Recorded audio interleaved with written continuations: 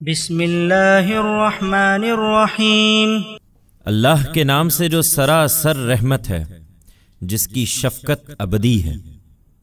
وَإِذَا تُتْلَى عَلَيْهِمْ آيَاتُنَا قَالُوا قَدْ سَمِعْنَا لَوْ نَشَاءُ لَقُلْنَا مِثْلَ هَذَا إِنْ هَذَا إِلَّا أَسَاطِيرُ الْأَوَّلِينَ۔ وَإِذْ قَالُوا اللَّهُمَّ إِنْ كَانَ هَذَا هُوَ الْحَقَّ مِنْ عِنْدِكَ فَأَمْطِرْ عَلَيْنَا حِجَارَةً فأمطر علينا حجارة من السماء أو ائتنا بعذاب أليم وما كان الله ليعذبهم وأنت فيهم وما كان الله معذبهم وهم يستغفرون وما لهم ألا يعذبهم الله وهم يصدون عن المسجد الحرام وما كانوا أولياءه إن أولياؤه إلا المتقون ولكن أكثرهم لا يعلمون وما كان صلاتهم عند البيت إلا مكاء وتصدية فذوقوا العذاب بما كنتم تكفرون یہ وہی لوگ ہیں کہ جب ان کو ہماری آیتیں سنائی جاتی تھیں تو کہتے تھے کہ ہم نے سن لیا ہے۔ اگر ہم چاہیں تو ہم بھی ایسا ہی کلام پیش کر دیں۔ یہ تو وہی اگلوں کی کہانیاں ہیں۔ اور یاد کرو، جب انہوں نے کہا تھا کہ خدایا، اگر تیرے پاس سے یہی حق نازل ہوا ہے، تو ہم پر آسمان سے پتھر برسا دے، یا کوئی دردناک عذاب ہم پر لیا اللہ اس وقت تو ان کو عذاب دینے والا نہیں تھا، جبکہ تم ان کے درمیان موجود تھے، اور نہ اس وقت عذاب دینے والا ہو سکتا ہے، جبکہ یہ مغفرت چاہ رہے ہوں۔ لیکن اب ان میں کیا ہے کہ اللہ انہیں عذاب نہ دے، جبکہ یہ مسجد حرام سے روک رہے ہیں۔ درا حالے کہ یہ اس کے جائز متولی بھی نہیں ہے اس کے جائز متولی تو صرف خدا سے ڈرنے والے ہو سکتے ہیں۔ ہاں مگر ان میں سے اکثر اس بات کو نہیں جانتے۔ یہ اپنی نمازوں کے زوم میں نہ رہیں۔ حقیقت یہ ہے کہ بیت اللہ کے سامنے ان کی نماز سیٹی بجانے اور تالی پیٹنے کے سوا کچھ نہیں ہے۔ لو، اب چکھو میرے عذاب کا مزہ۔ اس کفر کی پاداش میں جو تم کرتے رہے ہو۔ إن الذين كفروا ينفقون أموالهم ليصدوا عن سبيل الله فسينفقونها ثم تكون عليهم حسرة ثم يغلبون والذين كفروا إلى جهنم يحشرون ليميز الله الخبيث من الطيب ويجعل الخبيث بعضه على بعض فيركمه جميعا فيركمه جميعا فيجعله في جهنم. أولئك هم الخاسرون. جن لوگوں نے کفر کا یہ رویہ اختیار کر رکھا ہے، وہ اپنے مال خدا کی راہ سے روکنے کے لیے خرچ کر رہے ہیں۔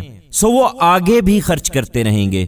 پھر یہ ان کے لیے حسرت بن جائے گا، پھر مغلوب ہوں گے۔ اور جو اسی طرح منکر رہیں گے، ان سب کو جمع کر کے جہنم کی طرف ہانک دیا جائے گا۔ اس لیے کہ اپنی جنت کے لیے اللہ پاک سے ناپاک کو الگ کرے اور ناپاک کو ایک دوسرے پر رکھ کر سب کا ڈھیر بنائے، پھر اس ڈھیر کو جہنم میں جھونک دے۔ حقیقت یہ ہے کہ یہی لوگ نامراد ہونے والے ہیں۔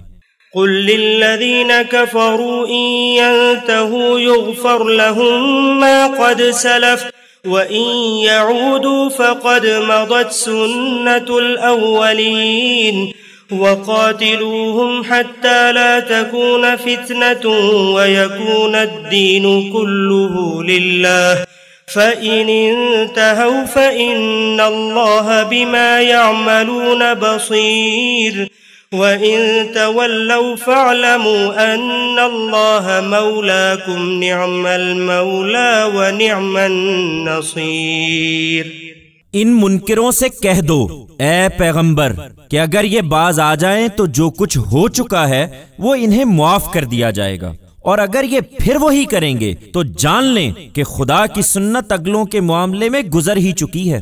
ایمان والو، تم ان سے برابر جنگ کیے جاؤ۔ یہاں تک کہ فتنہ باقی نہ رہے اور دین اس سرزمین میں سب اللہ کے لیے ہو جائے۔ سو اگر یہ باز آ جائیں تو جو کچھ کریں گے، اللہ اسے دیکھ رہا ہے۔ اور اگر منہ موڑیں تو جان رکھو کہ اللہ تمہارا مولا ہے۔ کیا ہی اچھا مولا ہے اور کیا ہی اچھا مددگار۔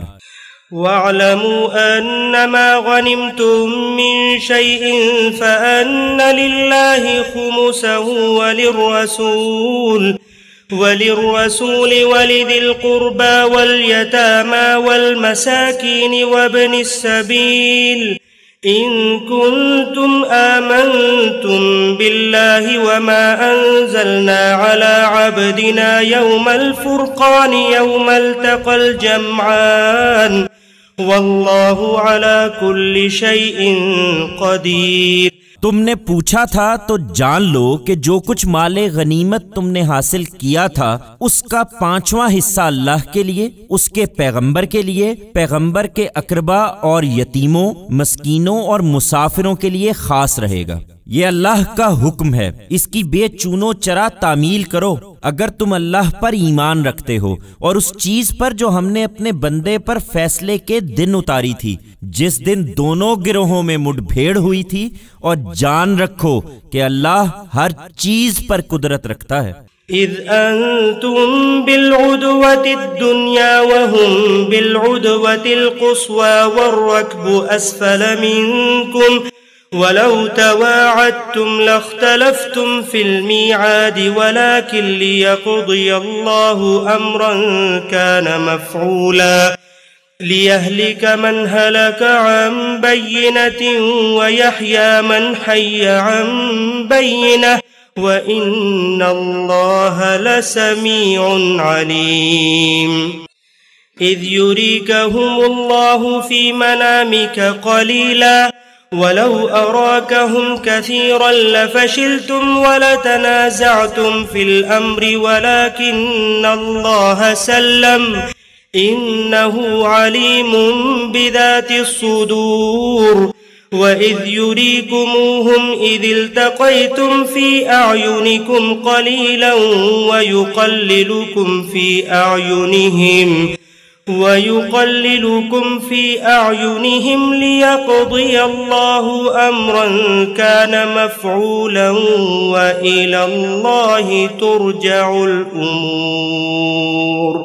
یاد کرو، جب تم وادی کے قریبی کنارے پر تھے اور وہ دور کے کنارے پر اور قافلہ تم سے نیچے تھا۔ اگر تم باہم وقت ٹھہرا کر نکلتے، تو جو وقت ٹھہراتے، اس میں لازمن آگے پیچھے ہو جاتے۔ لیکن اللہ نے کوئی فرق نہیں ہونے دیا۔ اس لیے کہ اللہ اس معاملے کا فیصلہ کر دے جس کو ہو کر رہنا تھا، تاکہ جس کو ہلاک ہونا ہے، وہ حجت دیکھ کر ہلاک ہو۔ اور جسے زندگی حاصل کرنی ہے، وہ حجت دیکھ کر زندگی حاصل کرے۔ اور اس میں تو کوئی شبہ ہی نہیں کہ اللہ سمیع و علیم ہے۔ یاد کرو، اے پیغمبر، جب اللہ تمہارے خواب میں ان کو تھوڑا دکھا رہا تھا۔ اگر وہ کہیں تم کو انہیں زیادہ دکھا دیتا، تو ضرور تم لوگ ہمت ہار جاتے اور جو معاملہ درپیش تھا، اس کے بارے میں جھگڑنے لگتے۔ مگر اللہ نے بچا لیا۔ یقیناً وہ دلوں کا حال تک جانتا ہے۔ اور یاد کرو، جب تمہاری مڈ بھیڑ کے وقت وہ تم لوگوں کی نگاہوں میں انہیں کم کر کے دکھا رہا تھا اور تمہیں ان کی نگاہوں میں کم کر کے دکھا رہا تھا، تاکہ اللہ اس معاملے کا فیصلہ کر دے جس کو ہو کر رہنا تھا۔ حقیقت حقیقت یہ ہے کہ تمام معاملات اللہ ہی کی طرف لوٹتے ہیں۔